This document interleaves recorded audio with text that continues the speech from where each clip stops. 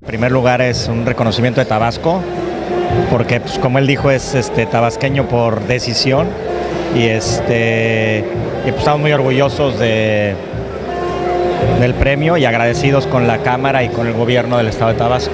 Pues yo creo que el primero es que los sueños se pueden hacer realidad, pero hay que trabajar mucho y con mucho esfuerzo. Pues mucho orgullo y mucho, mucho agradecimiento por haber pensado en él. Es que es una persona muy auténtica y siempre nos ha inculcado integridad a todos sus hijos y ahora a sus nietos. No, pues nos da mucho orgullo como familia, obviamente. Eh, estamos muy orgullosos de él.